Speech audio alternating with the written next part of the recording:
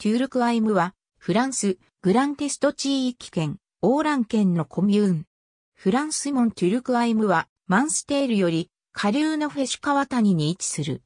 コルマールに近い。ルートでバンダルザスの途上にある。テュルクアイム旧市街の要塞は三角形の形で建てられている。城壁には、羽橋を通じて町へ入ることのできた三つの門が残る。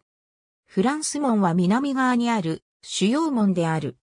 東のブラン門は門を見下ろす丘にちなんで名付けられた。西側のマンステール門はマンステール方面へ向いている。半木造の建物考古学的証拠によると、テュルクアイム近郊はローマ時代よりすでに人が暮らしていた。ゲルマン人がライン川を越えてローマ帝国領内へ侵攻すると、トゥリンギ族がこの地に定住した。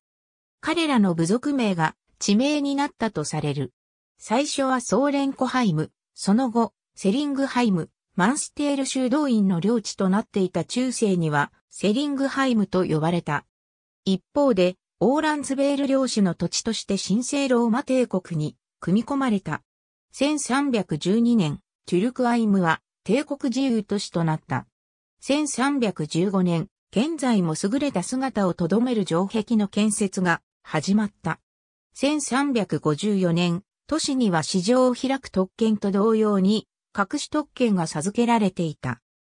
同じ年には、アルザスの帝国自由都市による重都市同盟に加わった。30年戦争の講和であるベストファーレン条約締結によって、フランス王国はアルザスにあるハプスブルク家領を獲得した。しかし、トゥルクアイムを含む重都市同盟は神聖ローマ帝国への帝国直接性特権を保持し、フランス王への侵入を拒絶した。この事態により、10都市同盟加盟都市がフランスに併合されるのは1678年の内名編の和訳まで待たねばならなかった。